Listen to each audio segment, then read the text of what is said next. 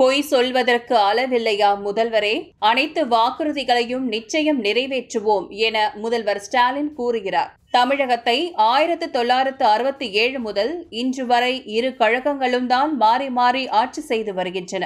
ஒவ்வொரு தேர்தலிலும் இரு கழகங்களும் எண்ணற்ற வாக்குறுதிகள் அளிப்பதும் ஆட்சியில் அமர்ந்ததும் ஆண்டுதோறும் பட்ஜெட் என்ற பெயரில் திட்டங்கள் குறித்து நீண்ட பட்டியல் வெளியிடுவதும் வாடிக்கையாக உள்ளது. இவர்களுடைய தேர்தல் வாக்குறுதிகளும் பட்ஜெட்டும் உண்மையாக இருந்திருந்தால் தமிழகம் இன்று உலக அளவில் மிக உயர்ந்த இடத்தில் இருந்திருக்கும். அப்படி இருக்கிறதா?